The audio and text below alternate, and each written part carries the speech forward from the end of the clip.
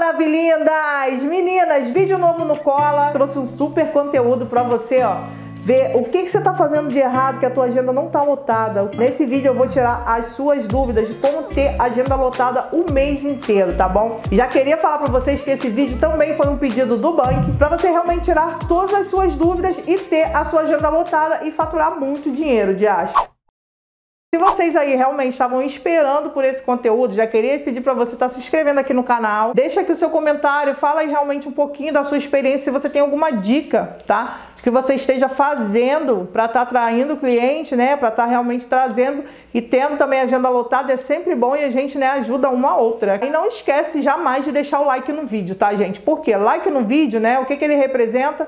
Que o YouTube sempre vai, né, te mandar o conteúdo da gente. Como a gente sabe que, né, agenda lotada é o sonho da maioria das profissionais, independente da área, né, eu preparei aí, eu acho que oito dicas que eu considero infalíveis, tá, para estar tá te ajudando nessa questão. Mas já vou te avisar que a oitava dica realmente é a dica que eu acho que é de ouro do vídeo. Já que a gente sabe que a agenda cheia realmente é sinônimo de faturamento, é sinônimo né, de dinheiro no bolso, é sempre bom né, saber aonde a gente vai colocar o nosso dinheiro que a gente fatura, né? Vamos dizer assim, né? Porque eu mesma, né, eu já muitas vezes coloquei meu dinheiro em lugares errados. Colocava às vezes no banco e às vezes eu já estava desesperada com tanta tarifa, com tanta coisa, e daí realmente, pô, não adianta você faturar muito e aí você perde um monte de dinheiro que você não tem nem noção para onde vai nem para quem vai, né? Quando a gente pensa em abrir uma conta, né, a gente fica, né, a nossa cabeça acho que entra em parafuso, né? Você fica sem saber, conta salário, conta poupança, conta corrente, conta conjunta, misericórdia, qual conta que eu vou abrir? Ah, vou fazer conta com cartão de crédito ou sem cartão de crédito, né? Realmente são muitas, né, opções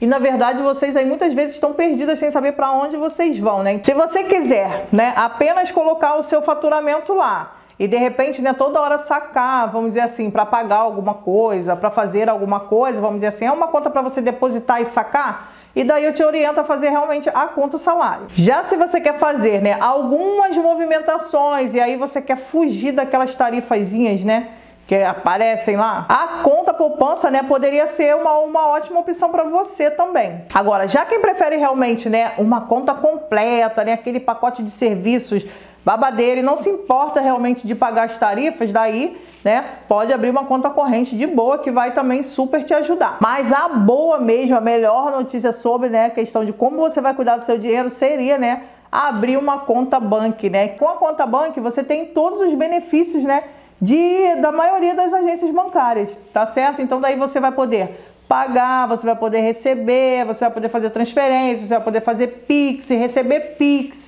pagar suas contas, pagar também as parcelas do carnê das suas compras que você faz nas Casas Bahia. E isso tudo sem filas, sem burocracia, sem dor de cabeça, rápido, fácil e o melhor de tudo, totalmente digital. Ah, inclusive tem um link aqui na descrição, tá? Para você baixar e lógico, evidente, né? Já está aí realmente criando a sua conta digital e também solicitando seu cartão.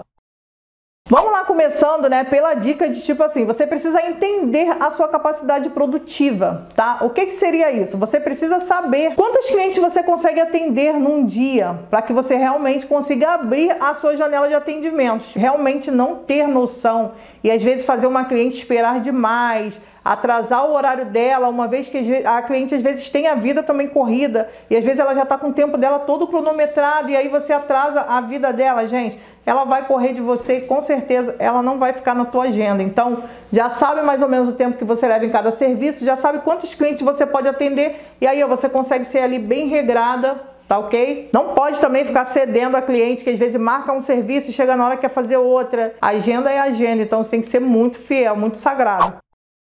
Vamos à próxima dica aí que seria o quê? Qualidade na abordagem e no atendimento. Eu sempre falei para as minhas alunas, tipo assim, a primeira impressão é a que fica, né? Imagina se uma pessoa te liga, pegou o teu número em rede social ou alguém passou para ela, ela já te liga para que você atenda ela. Aí, né, ela já vai, né, lógico, evidente, esperar um bom atendimento. Tem que saber realmente, né, meio que fazer, aqui, acho que o primeiro acolhimento, né, ali por via WhatsApp mesmo. Ser simpática, né, ser solícita, ter paciência para explicar, para discriminar preço, para discriminar serviços, tá? Se você realmente estiver em atendimento e não puder atender naquele momento, procura deixar uma, uma mensagem automática falando. Aos pouquinhos ela vai entender como você realmente é bem comprometida, né? Tipo assim, você não para para atender o telefone durante o atendimento dela, automaticamente ela vai te amar, porque você também não vai atrasar quando ela estiver sentada fazendo contigo, né? No momento que a cliente veio fazer o atendimento, né, você precisa ser realmente é, muito cordial, tá? Procurar ser muito honesta quando o assunto for preço, né? Nunca se deixe levar pela aparência, de repente assim, pô, essa cliente parece que tem dinheiro, vou cobrar mais dela. Respeitar, né, a vontade dela, tá? A todo momento, se possível, sempre fazer o que ela quer. Se a cliente se sente bem naquele lugar, tá? Se ela é muito bem acolhida, de repente você tem ali um Wi-Fi para disponibilizar, você pode oferecer.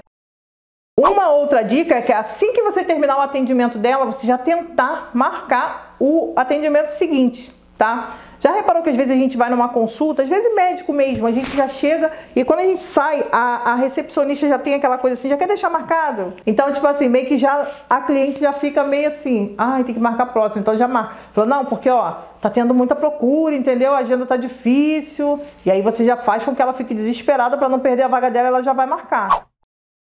Outra dica seria o quê? Faz o cadastro da sua cliente. O que, que seria o cadastro da cliente? Ah, lembra da fichinha de anamnese? Então, a gente ali pergunta tudo da cliente, né? Na fichinha de anamnese tem que ter o endereço da cliente e o telefone, tá? Eu sempre coloco. Eu não, eu ignoro um pouco esses dados pessoais, tipo documentação, RG, CPF, isso para mim não interessa. Mas eu tenho que ter ó, o telefone da cliente, se possível, dois telefones de contato, tipo fichinha de crediário dois telefones de contato de algum parente próximo e, lógico, evidente, o endereço dela. E aí o que, que acontece? Você já tem o contato dela, né? E aí, por via WhatsApp, você começa a enviar é, lembretes, entendeu? Você pode enviar também coisas que você está trazendo nova. Ó, gente, tem esmalte novo, tem serviço novo, ó, fiz um curso. Não faz grupo, porque realmente o grupo, às vezes a cliente não gosta do grupo mas você pode mandar por lista de transmissão e todas elas recebem. Uma outra dica seria realmente né, estar sempre atualizada nas tendências do mercado, né? Quando eu digo tendência, gente, tipo assim, às vezes simplesmente cor de esmalte. Se você realmente não procura saber, não se informa, fica ligada nos perfis das marcas, entendeu? Fica ligada também, né, sobre o que está rolando no mercado de unhas, se está vindo gente dar curso, quais são as técnicas que estão sendo utilizadas. Por aí, você já mostra realmente para cliente que você é uma profissional, né, que está por dentro, né? E tipo, quando ela pensar em te pedir algo, você já está oferecendo para ela antes.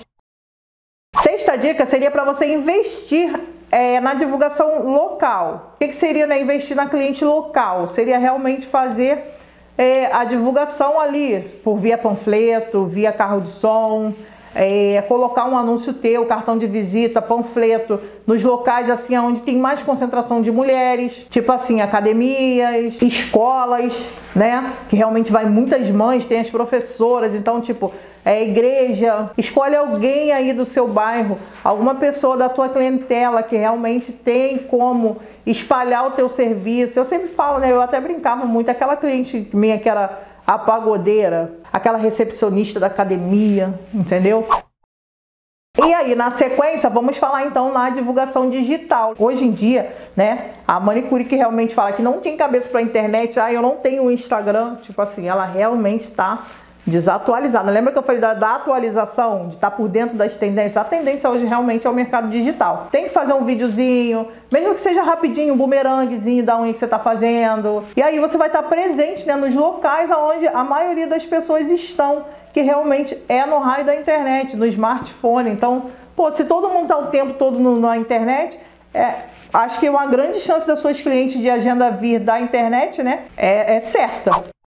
Como eu falei para vocês que a oitava dica era muito babadeira, tá? Eu queria deixar para você aí o seguinte, né? Vamos focar em fazer uma promoção, tá? Para suas clientes. Tipo, vamos fazer uma promoção para a cliente poder te marcar. Ela te posta na rede social dela, automaticamente atinge um montão de pessoas que não estão na tua rede social ela vai e te coloca no status dela onde estão as familiares, as amigas. Automaticamente sempre vai ter alguém que vai perguntar: "Nossa, que unha linda, quem é que faz?". Então você pode dar um descontinho para ela aí simbólico, às vezes de 5, 10%, entendeu?